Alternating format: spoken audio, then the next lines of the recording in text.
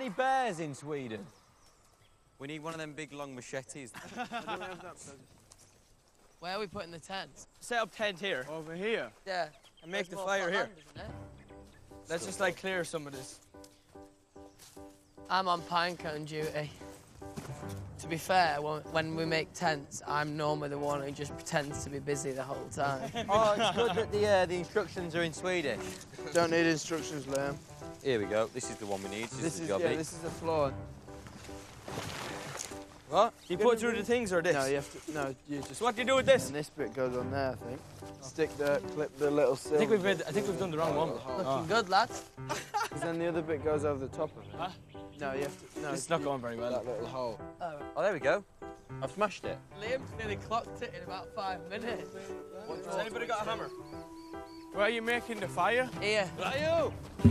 Oh, thanks, lads. Yeah, cheers.